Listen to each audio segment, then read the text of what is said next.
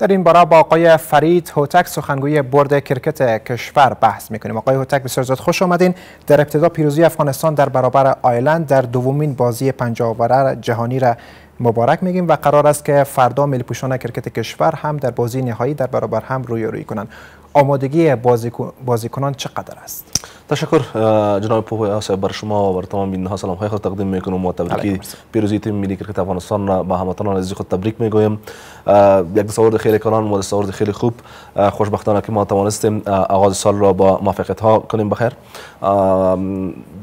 سه مسابقه بین المللی پنجاره با میزبانی افغانستان در برابر ایرلند آغاز شده که تا حال دو مسابقه انجام شده و در دو مسابقه تیم ملی کرکت افغانستان برنده شده و خوشبختانه که جام قهرمانی مسابقات پوهنتون کاردان را افغانستان برنده شده. قابل یادآوری است که مسابقه بعد به تاریخ 26 جنوری انجام خواهد شد.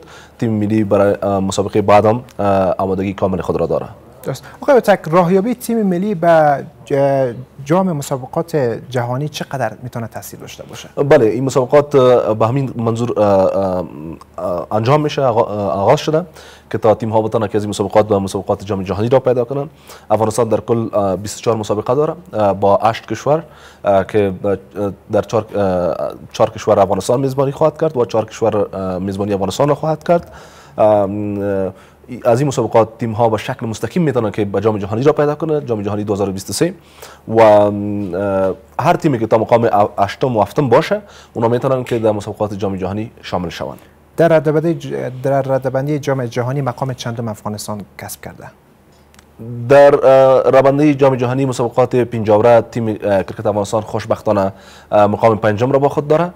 تیم ملی کرکت افغانستان سعی تلاش خواهد کرد که تا این مقام را با خود داشته باشه که بتونن که از این طریق مستقیم به مسابقات جام جهانی راه پیدا کنند خو آقای اوتک سوالی که شهروندان کابل هم می‌پرسن. چرا همیشه تیم کرکت افغانستان در برابر ایرلند و زیمبابوه روی روی می‌کنه. چرا با کشورهای رده نخست نمی‌تونن این رو روی روی کنن؟ آیا توانشان ندارن و یا زمینه مساعد برشان فراهم نشده؟ ببینید طور که شما معلوم است ایرلند و زیمبابوه هر دو کشور تاریخچه بیشتر داره از کرکت افغانستان و تیم های قوی جهان هستند و تیم های full member شورای بین کرکت کرکت هستند. تیم های ضعیف نیستند تیم های درجه سوم خدا نخواسته نیستند تیم های درجه دوم نیستند تیم های درجه یک شورای بین کرکت است. و ما همچنان تازه تقریبا تازه عضویت دائمی شورای بین کرکت را به دست آوردیم. با با اینکه شورا ما مسابقات خود را انجام میتیم مسابقات بر ما مفید تمام میشن نه خدا نخسته توانی و بعد از این ما با کشورهای دیگه مسابقات داریم. مانند سریلانکا پاکستان هند وست اندیز استرالیا و وست اندیز کشورهای دیگه ما مسابقات داریم انشالله در جریان سال. چه وقت است یک مسابقات دقیق تاریخش؟ تاریخش دقیق تا سال تا آخر دسامبر انشالله ما کشورهایی را که برای شما یادآور شدیم در تاریخ های مختلف با این کشورها ما مسابقات خود را انجام خواهیم داد برنامه تان برای بازیکنان تازه را یافته در کرکت چی است؟ بله خوشبختانه کرکت افغانستان در حال رشد است در حال پیشرفت است. الحمدلله ما در هر سفر می‌بینیم که یک دو بازیکن را در ترکیب تیم ملی افغانستان شامل می‌کنیم. البته بازیکنان جوان جوان را که شاید در کشورهای دیگه امین یک ابتکار دستاورد نخواد باشه اما خوشبختانه که افغانستان امید دستاورد را داره ما از کرکت داخلی افغانستان جوانان را میآموزیم تا به ترکیب تیم ملی افغانستان را پیدا کنند و در مسابقات جام جهانی نمایندگی افغانستان را انجام بده. که باید از باشم یک تعداد کشورهایی بود پویا صاحب که سالهای قبل تا نیمه نهایی جام جهانی را پیدا کرده بودند. اما اونا نتانستند که در مسابقات حال عضویت یا امو جایگاهی که داشتن با خود نگاه کنن. به خاطر اینکه اونا پلان خوب نداشتن. اما ما خوشبختانه پلان خوب داریم. همین حالا میان 20 ولایت افغانستان مسابقات است. در جریان سال مسابقات دیگه هم داریم. از این مسابقات ما بازیکنان را پیدا می‌کنیم. و به ترکیب تیم ملی افغانستان میتیم الحمدلله در تیم ما جوانان زیاد شده و ان شاء الله نتایجشان هم خوب هستند و این پروسه ادامه خواهد کرد. درست. آقای اوتک در لیگ برتر پاکستان از بازیکنان مطرح ما دعوت شده و این بازیکنان آیا قرار است که با لیگ پاکستان هم بازی بکنه؟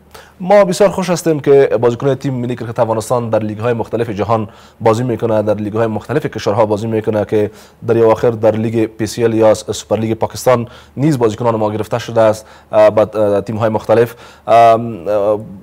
از یک لحاظ از لحاظ اقتصادی برای بازیکنان ما یک زمینه خوب است. از لحاظ دیگه در تجارب بازیکنان ما بیشتر خوبی ها به وجود میاد و همچنان برتان یادآور میشم که هر وقتی که ما فرصت داشته باشیم البته برنامه های ملی خود را داشته باشیم بازیکنان می‌تونن که در لیگ های بیرونی یا کشورهای دیگه هم اشتراک کنه وقتی که ما برنامه های ملی خود داشته باشیم حق اولویت ازی است که بازیکنان باید در برنامه های ملی افغانستان اشتراک کنه و شما ببینید که Big Bash و مسابقات دیگه که دیگه که در کشورهای مختلف جهان است و بازیکنان در او اشتراک می‌کنن البته بازیکنان افغانستان. وقتی که برنامه های ملی ما شروع میشه تمامشان برنامه لیگ های خارجی را ترک می‌کنن و در برنامه داخلی افغانستان اشتراک می‌کنه برنامه های ملی اشتراک می‌کنه. ببینیم که در وقت ما چی برنامه داریم. اگر بازیکنان فرصت بودن مشکل نخواهد بود. آقای اوتک افغانستان چه وقت میزبان میدان سبز کرکت خواهد شد؟ سوال تو نتونستم باشم. افغانستان چه وقت میزبان بازی های کرکت خواهد شد؟ فعلا خب ما میزبان هستیم در برابر ایرلند که در امارات متحده عربی است در داخل افغانستان بله در داخل افغانستان بر شما میم پویاسب ما میزبانی می‌کنیم طور که پیشتر داشته شدیم از چهار تیم افغانستان میزبانی می‌کنیم از چهار تیم چهار تیم دیگه میزبانی افغانستان خواهد کرد. به همین منظور ما رئیس عمومی کرکت بورد افغانستان محترم فرهان یوسفزی در صحبت خود در نشست خبری یادآور شد که ما باید در مرکز یک میدان بین‌المللی داشته باشیم تا بتونیم که در آینده تیم های بیرونی در افغانستان میزبانی کنیم. خوشبختانه که او زمین را ما به دست آوردیم. رئیس جمهور او زمین را به کرکت افغانستان از طریق حکم داد و پروسه اداری او زمین تکمیل شده. ان شاء الله سعی تلاش میشه که کارهای عملیشان شروع شود. در در مورد مسابقه فردا اگر بگوین آقای بله مسابقه بعد مسابقه سوم میان افغانستان و ایرلند به تاریخ 26 انجام خواهد شد. یعنی فردا بخیر انشالله. تیم آمادگی کامل داره و جام را افغانستان برنده شده. مسابقه سوم برای افغانستان مهم است که تا ما بتونیم در این مسابقه برنده شویم و در درجه بندی بالا برویم. تشکر آقای فرید اوتک از حضورتان در برنامه. شما تشکر زنده باشید.